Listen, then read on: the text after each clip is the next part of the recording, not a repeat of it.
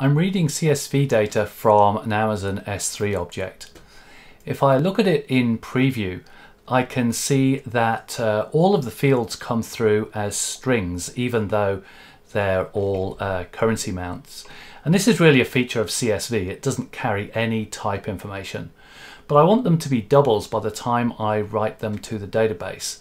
Now StreamSets Data Collector includes a field type converter but to use that, I either have to specify uh, all of the field names or an expression that evaluates to uh, the field names, a regular expression maybe.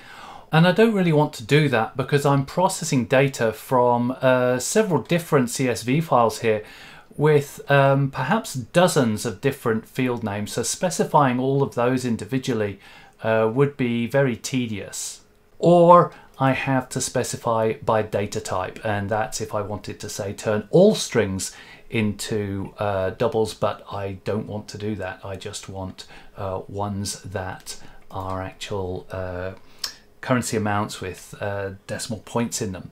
So I used our old friend the field mapper to do exactly that now the field mapper lets me operate on the field paths, so the position of the field within the record, field names, and uh, field values, and that's what I want to do here.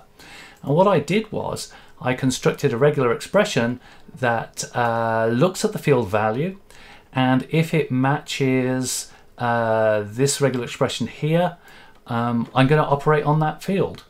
And it looks kind of intimidating, but it's kind of uh, straightforward to pick through it. So caret here is the beginning of the string and what I'm saying is optionally there might be a negative sign, a, a hyphen there.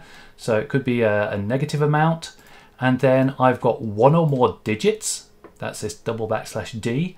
Uh, plus means one or more of them. And I definitely want a period in there. I really only want um, uh, numbers with uh, decimal points in them. And then I have uh, one or more digits after the period and then dollar is the end of the string. So that's going to match uh, those kind of quantities that I saw uh, in my preview. And there isn't an expression language function to kind of cast a value from a string to a double but that's okay because I can use uh, addition here and addition will always give me whatever it, the type of its left operand is and so if I just say 0.0 plus the field value, then uh, let's take a look at what will happen.